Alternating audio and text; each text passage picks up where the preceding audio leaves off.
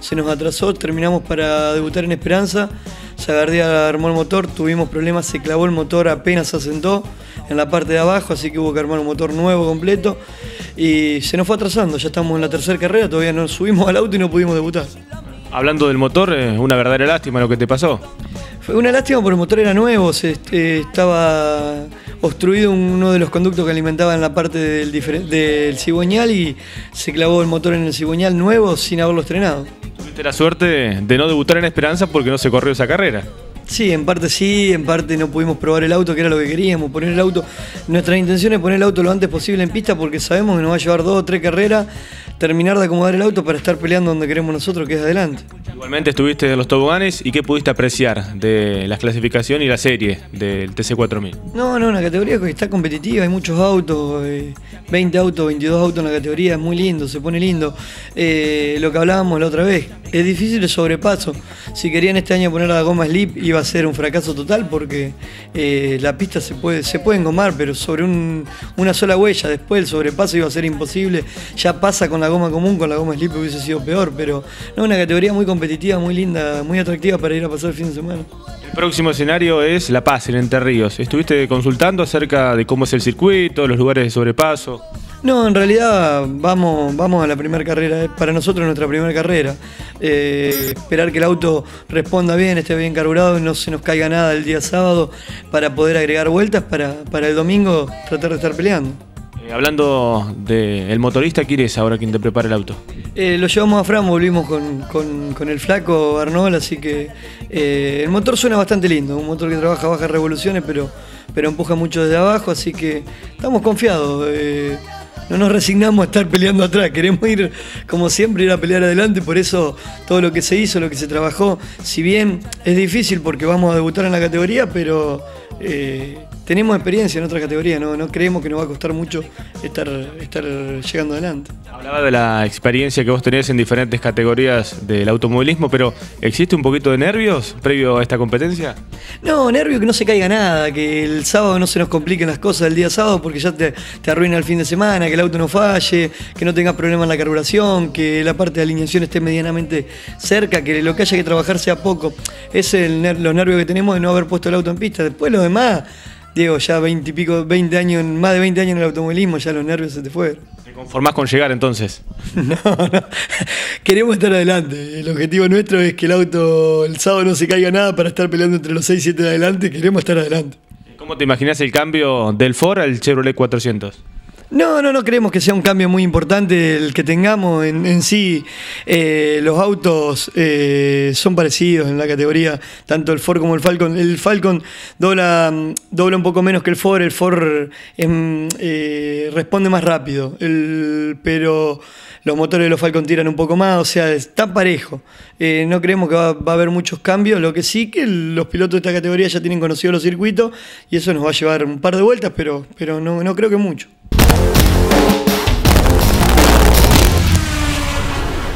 Y cada vez son más los usuarios de Internet que siguen visitando nuestro sitio www.rugidodemotores.es.tl.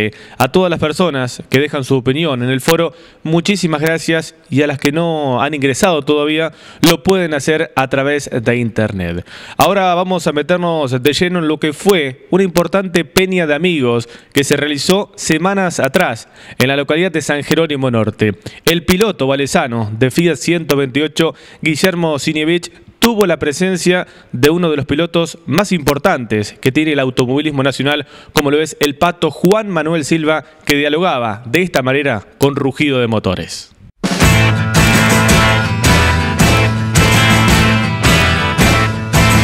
Eh, buenas noches, estamos acá esta noche con una cena que me invitó Guillermo en San Genaro Norte. Jerónimo. San Jerónimo, San, Jerónimo Norte. Realmente son todos muy, muy parecidos acá los pueblos de Santa Fe, ¿no? Que San Carlos Sur, San Carlos Norte, San Jerónimo, San Genaro. Así que estamos acá, ¿no? No conocía, sinceramente no conocía. He pasado infinidad de veces este, yendo a Rafaela, yendo a Córdoba también, sobre todo cuando vivía en el Chaco y bueno, pasé siempre, habré pasado un montón de veces por el cruce, pero nunca entramos. Así que bueno, compartiendo se da la oportunidad. Cuando me invitó Guillermo me contó un poco lo que era. Le dije si no hay otros otros compromisos con los patrocinantes, este, con las, con las, este, después el, año pasado estuvimos en, ¿dónde tuvimos una cena? No, no, en San, en San Carlos, San Carlos. Y era para juntar plata. Yo le dije a Guillermo, mira, hay prioridades. Si es para juntar plata para, para, una, para un hogar, para juntar plata para una iglesia, para juntar plata para alguna eh, todo eso va en prioridad. Después lo último para una peña de automovilismo. Y bueno, no hubo otro evento, no hubo otra, otra cena. Este, así que acá estamos compartiendo un ratito con ellos. Vengo de Rosario de una, exposición que tuvimos con la gente de Paladini, así que se dio todo más o menos justo. Así que bueno, un gusto compartir este, unas horas con ustedes. vengo también de los zonales, mi viejo siempre hizo, eh, hoy en día eh, corrió en los zonales, preparó muchos autos en los zonales, al día de hoy sigue preparando en los zonales del Chaco. Yo tengo un 128 propiedad mía, eso todavía nadie sabe, pero tengo un 128 propiedad mía, un 1100, que lo preparé yo y ahora lo está corriendo mi primo en el zonal del Chaco. Así que sé un poco lo que son los zonales, lo que son los, que son los inicios y lo que cuesta iniciarse. Lo que cuesta iniciarse obviamente y lo, difícil que es este, este deporte este, que se necesita no siempre también del esfuerzo, sino de la suerte, del apoyo de la gente. Así que bueno, que pasen una linda cena, desearles mucha suerte y gracias por la invitación y por La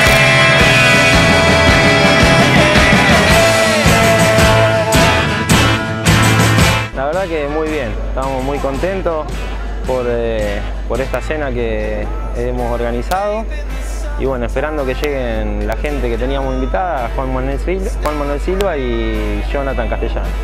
Y bueno, están todos los chicos de la autopeña, todos los que forman la autopeña del auto y bueno, y toda la gente del pueblo que nos, viene a apoyar, a dar una mano en esto que es el automovilismo que nos gusta. Bueno, nosotros hace una carrera que teníamos el auto, fuimos la primera esperanza y tuvimos un poco de mala suerte por el circuito y tuvimos que largar por, ranking y la verdad que fue buena, fue buena el resultado final. Y las expectativas, bueno, este año tratar de girar, de llegar lo más adelante posible. Y bueno, y dentro de las posibilidades tratar de estar lo más arriba de la tabla. El auto, va, el auto no está mal, es un auto que está muy bien, ahora le hemos hecho toda la parte de suspensión nueva, hemos trabajado en, los frenos y algo en el motor y bueno, esperando a ver la fecha de La Paz para ver cómo, cómo se desarrolla los trabajos que se han hecho. Esperanza, fui, estuve en, Esperanza, pero no, no giré nunca. Giré en San Jerónimo de acompañante con los TC4000. No, para La Paz lo que queremos es tratar de, llegar y, estar eh, mezclado en los 10 ya es bueno para nosotros.